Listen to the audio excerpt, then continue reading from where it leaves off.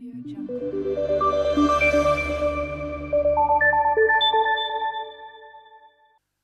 Иргэнээс төрийн үйл хэрэгт шууд оролцох улс төрийн эрхийг хэрэгжүүлэх арга хэрэгслийг баталгаажуулах зорилго бүхий иргэний улс төрийн эрхийн тухай хуулийн төслийг өнөөдөр хуулийг боловсруулсан ажлын хэсгээс Дархуул аймгийн иргэдэд танилцууллаа. Швейцарын хөгжлийн агентлагтай хамтран Монгол улсын засгийн газраас засаглал хөтөлбөрийг хэрэгжүүлж байгаа.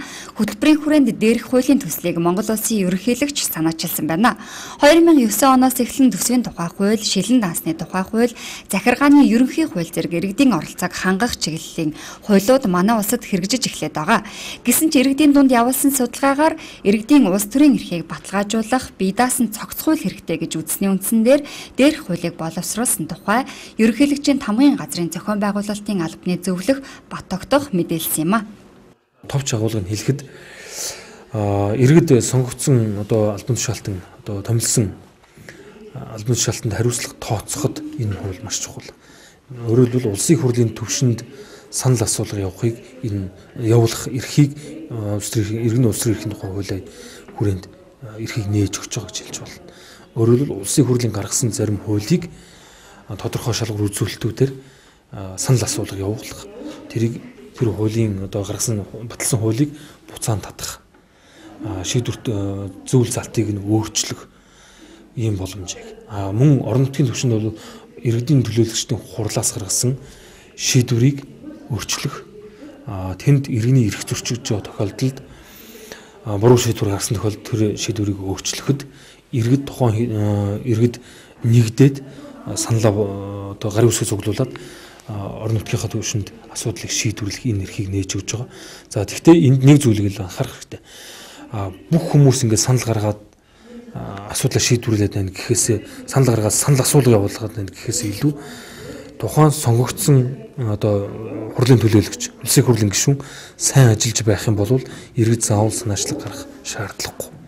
Тус хуулийг хаврын чуулганд өргөн барихаар төлөвлөж байна. Энд чуулганаас өмнө холбогдох ажлын хэсэг 21 аймгийн иргэдэд тус хуулийн төслийг танилцуулж саналыг нэгтгэн тусгах юм байна. Иргэд сонгосон албан тушаалтанд хариуцлага тооцох нь чухал. Тухайлбал иргэдээс сонгогдсон иргэдийн төлөөлөгчдийн хурлын төлөөлөгч улсын хурлын гишүүдийг буцаан татах эрхийг уг хууль олгож буйгаараа онцлогтой. Мөн иргэдийн санаачилгааг улсын хэмжээнд болон орон нутгийн хэмжээнд буюу аймаг нийслэл, сумдүүргийн иргэдийн төлөөлөгчдийн Улсын хурлаас гаргасан шийдвэр иргэдийн эрх ашигт нийцээгүй бол 5-аас 9 иргэн нийлж тус шийдвэрийг өөрчлөх, санал асуулга явуулах санаачлагыг гаргаж болохоос гадна түүний холбогдох заалтыг өөрчлөх, хүчингүй болгох, шинээр шийдвэр гаргах, улс орон ард нийтийн эрх ашигыг хүндсэн нэм чухал асуудлыг шийдвэрлэх үндсэн хуульд нэмэлт өөрчлөлт оруулахад иргэд нь санаачлаг гаргаж болно.